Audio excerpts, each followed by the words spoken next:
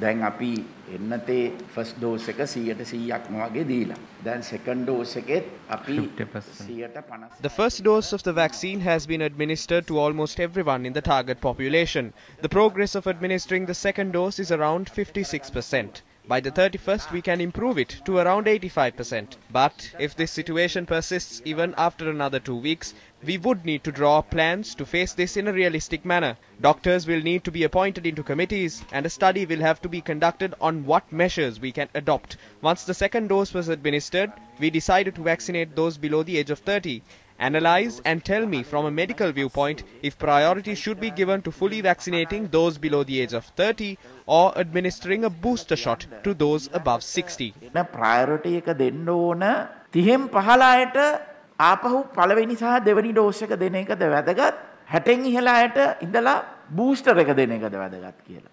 තාම WHO එකේ නම් බූස්ටර් එක දෙන එක රෙකමන්ඩ් කළා නෑ. මේ එක එක රටවල් වල දුන්නට. The WHO has not recommended a booster shot for now, although it is being done in other countries. There are two factors to consider. Variants emerge when a virus load exists in the community.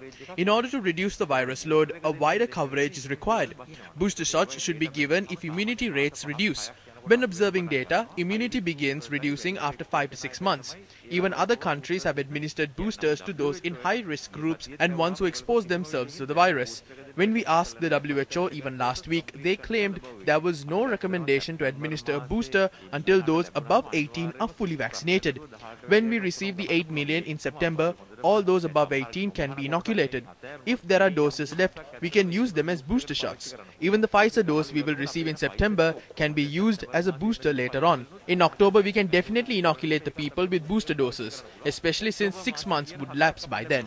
ඒතර October මාසේ අනිවාර්යයෙන්ම booster එක ගන්න පුළුවන්. මොකද ඒතර මාස 6 සාමාන්‍යයෙන් පහුවෙලා. දැන් සර් මේ සර් දකින්න නැති CNN ප්‍රෝග්‍රෑම් එකක් ගියා දැන් දවස් 3කට ඉස්සෙල්ලා East Sir, you might have seen a program on CNN regarding the situation in Israel.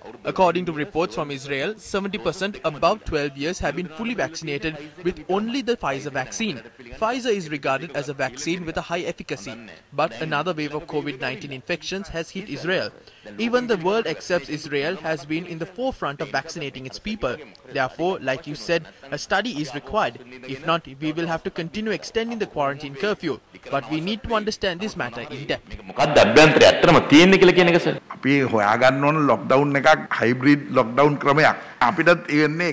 We need to come up with a hybrid lockdown system. The only issue is with the small-scale business owners. Even daily wage earners were allowed to work. Fish shops, vegetable shops are the issue. Even trishaw drivers have been given space to operate. Level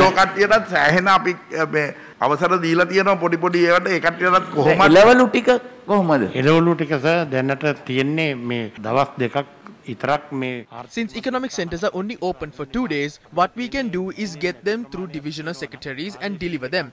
A bag of dry rations including rice, flour and sugar can be delivered to homes through the Bell solution of Sathosa. The ration pack which can be delivered to homes at a cost of 1998 will cost 2600 if purchased physically at shops. However, not a great number of orders are placed, maybe 5000. The people have stockpiled a lot of goods by now. Even if a mobile vendor goes from home to home, they will not be able to do much business. ඇහෙන බහන්ඩ ප්‍රමාණයක් රැස් කරගෙන තියාගෙන ඉන්නවා දැනට. ඉතින් අර ගෙන්ගෙට ගියත් ඒ යන එක්කෙනාට වෙළඳාමක් නෑ ප්‍රමාණවත්.